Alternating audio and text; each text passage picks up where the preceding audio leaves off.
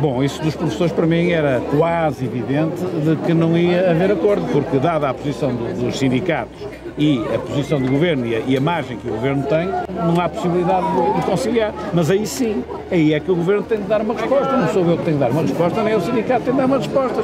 Porque se foram criadas expectativas aos professores para que se desse, contasse o tempo todo de carreira, agora tem de arcar com a responsabilidade de o ter feito há sempre um discurso político que nos empurra para uma dada situação. E se o discurso político é de uma economia saudável, é de estarmos praticamente no país das maravilhas e que os professores têm toda a razão, o que é que se está à espera se não dar a razão aos professores porque há folga? Mas agora no momento de dar, já não há folga.